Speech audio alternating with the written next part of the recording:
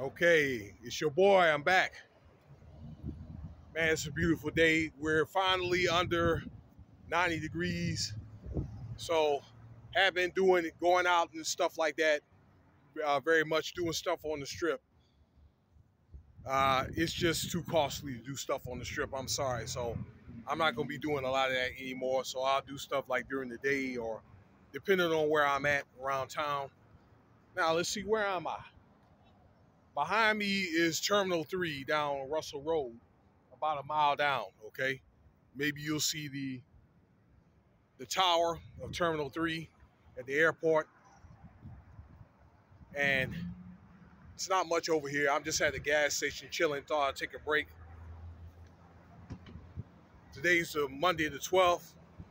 So hope you guys remember what happened uh, September 11th. Which they did do a ceremony. Maybe I'll do a collage on it. Thank you for your time. So I want to just talk about real quick that the Aces, I'm going to try to keep uh, track on every game, the championship against the Sun. So Connecticut Sun. So see, they won 67-64. So I didn't look at the game. It looks like it was a competitive game. And uh,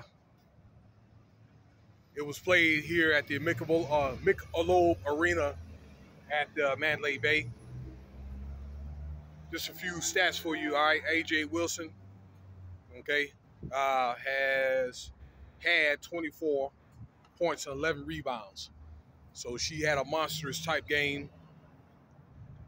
Uh, C. Gray, uh, Chelsea Gray, she's a guard. I didn't know she was 5'11. That's a guard. That's pretty tall. She had 21 points, and Jay Young, okay, had 11 points. So that was a factor in the game. It looks like they kept many of the, when I said they, the Aces kept their players in the game pretty much. Uh, what's her name? A'ja Wilson looks like she pretty much played the whole game. She played 38 minutes.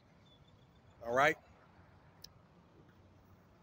So again, I don't have the stats but uh, it seemed like it was mainly like a run and gun offensive type game. Okay. So let's see what happens during game two.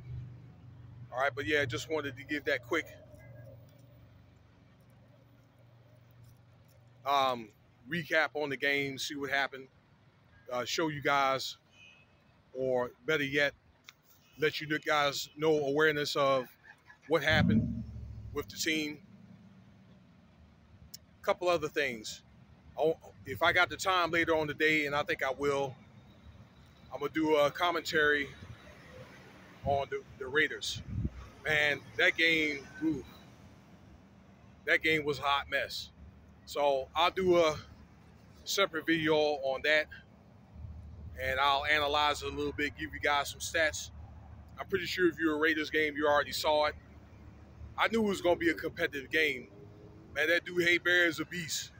Like I'm thinking, whatever the Raiders gonna do, they better do it this year because that dude is coming up.